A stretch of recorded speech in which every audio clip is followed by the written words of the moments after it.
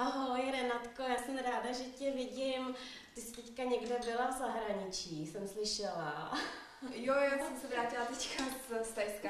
No a Tajsko je známý, že má perly, ale vidíš, že teda tady já toho mám za sebou hodně. Já jsem si tady pro tebe připravila takový zajímavý mm. věci. Já vím, že jsi prstínková, tak jsem ti chtěla něco ukázat.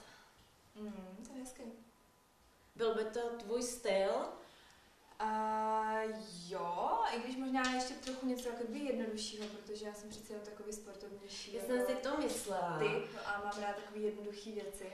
Já jsem si to myslela, ale to je právě úžasný, že vlastně uh, princeznovský typ u nás najde hodně věcí, ale i právě jako ty, jsi sportovně oblečená, ráda jako sportovní módu, tak jako to jsou věci, které vlastně tady z toho všeho, co mám za sebou, tak ty si můžeš vybrat úplně něco jednoduchého mm. a podle, podle stylu, co ti, je, co ti je blízký. A ty perly, ty jsou, to jsou normálně jako z muši, nebo jak to teda vzniká? To se, mi, to se mi hezky ptáš, protože já vím, že když jezdíš takhle na východ, tak vlastně tam jsou všude perlové farmy, tak mm. každý většinou si nějakou takovou přiveze. Tyhle jsou speciální, ty jsou ze Španělska, to je značka Majorika. Oni mají speciální techniku, kde vlastně ty perly jsou dělané tak, že eh, se v té organické esenci, což je perleť, tady to vlastně vidíš na tom náhrdelníku taky, ty jsou krásně kulatý, pravidelný, tak oni se vlastně do té perleťoviny a ručně máčí a pak se leští a dál zpracovávají. Mm-hmm. Takže Ale normálně ty klasicky prostě vznikají v té...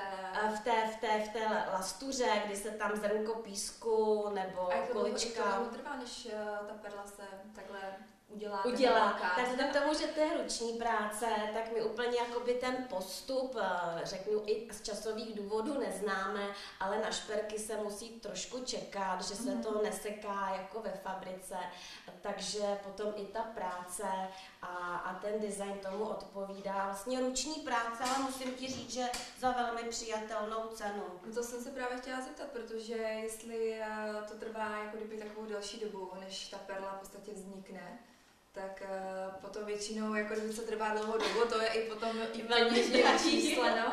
ne, já musím říct, že u nás opravdu eh, speciálně třeba prstínky s perlou, je to zasazený a v čistém stříbře, mm. porodiovaný, takže samozřejmě ta úprava tam je. Tenhle prstínek konkrétně tři tisíce, takže vidíš, že jako jo, opravdu to je, to je nejsou, to, nejsou to desítky tisíc mm. a, a můžeš si vybrat ze škály právě od dvou, od třech Čech. Já ti pak tady ještě ukážu i jednodušší, aby se mohla podívat i jako, co by bylo tvýmu srdci blíž a um, je to v přijatelných cenových relacích. A děláte to i uh, vlastně v kombinaci se zlatem? Právě, no to, je, to se hezky zeptala, protože vlastně uh, je to málo známý, že i ta majorita dělá vlastně jak stříbro, tak vlastně i, per, i ty perly jsou zasazený do zlata, respektive je to stříbro, který je potažený mm-hmm. zlatem.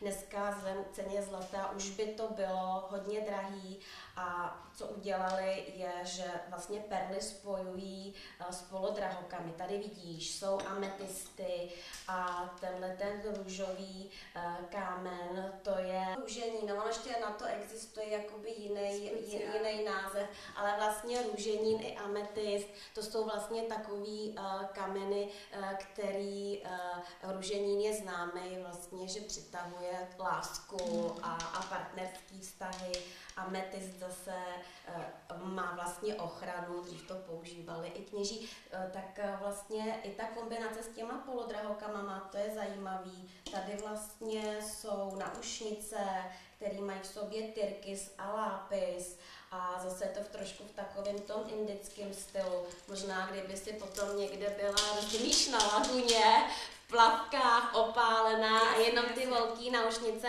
by to třeba teďka úplně ne, že bys to nosila každý den, ale já to na tobě umím představit. Hmm. Blondýnka, opálená, dlouhý ty naušnice, já to vidím. na pláži. Já, na pláži. Já to vidím, opravdu. Jo. Tak opravdu tady si můžeš jakoby eh, z několika stylů různě namixovat k, na příležitosti a myslím, že to je právě zajímavé. Aha, to je dobrý, protože uh, vlastně vy máte celou škálu od jako společenských jako příležitostí Právě. až po denní nošení. Hmm. A ta cena se teda pohybuje prostě v rámci nějakých... Do, od těch dvou, až třeba tady jak máš ten náhrdelník, tak do 15 tisíc, víc to opravdu nejde. Mhm. Hmm. A vlastně to bylo, mně přišlo, že vždycky perly jsou spíš taková jakože záležitost spíš, spíš jako starších paní, a, ale vidím, že tady k, máte celou kolekci, kte- která se dá v pohodě nosit i v nižším věku. No právě, já dělám i osvětu, protože do, do nedávna, když se jdeš podívat do obchodu, tak vlastně jeden náhrdelník, dva, tři, stejný styl a každý, kdo k nám vlastně tady do showroomu Mhm. soukromího přijde, tak říká, no to je vlastně úžasný, jaký výběr tu je a mě těší, že vlastně tímhle oslovujeme slečny, jako seš ty, jejich maminky, Mhm. potažmo i až babičky, že opravdu ten, ten, tento rozpětí je obrovský. A, a mm, Takže proto- třeba takový dárek, že perly se většinou jako darují, nebo já to mám spojený, ale jo, s dárkem. Perly jsou krásný dárek. Je to většinou opravdu jakože na věky, na dlouho, protože Majorika má jenom na všechny tyhle perly, co tu vidíš, 10 let garanci. Tak Aha, to je, takže to je, když, to je eh, specialita. se s tím něco stane, tak přijdu a Nesmíš si to třeba odřít při adrenalinovém sportu. to, je, to jenom prosím tě sundej. To jumpu, ano, to mě napadlo.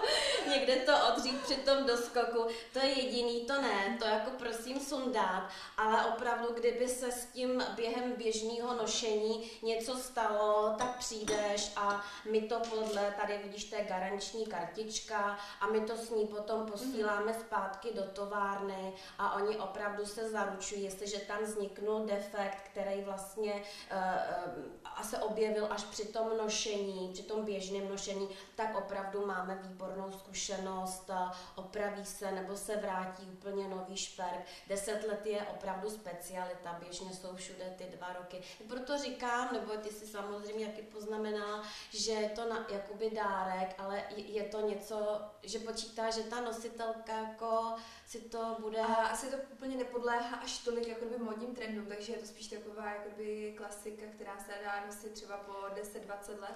E, To už je potom na tobě. Pochopitelně, když si vybereš takovýhle, jako řeknu, ala indický náušnice, e, tak je to teďka takový módní, dlouhý náušnice se nosí a ještě nějakou dobu nosit budou, ale opravdu i ta Majorika dělá každý rok vlastně a, nový katalogy nebo variace a vždycky je tam Mhm. klasika, kterou víš, že opravdu vezmeš si dneska za 10 let a, a pořád dobrý, jenom si je občas necháš vyčistit a všechno v pořádku. A potom prostě někdy si můžeš vlastně pořídit takzvanou divočinku. Eh, Máme i perlu, která je na koženém řetízku. Já mám tady teďka je takový krásný, zlatý voka, to velká perla. Takže to jsou jako věci... A to je takováhle velká perla, to, ano. to vzniká jako třeba 20 let. ne, to ne. To je, to je právě ta, to je právě ta technika, aby stála moc, to bych se ani nedovolila na krk dát. To je ta technika, kdy vlastně opravdu a, ta, ta kulička se tak dlouho různě vrstvuje a obaluje, až teda dosáhne požadované velikosti. A je pravdou, že tohle to jsou jako ty největší, Mhm. který teda Majorika dělá. No. Ale vidím, že tady máš ještě jiný značky. no to vidíš správně. Tady za mnou, pojď se podívat.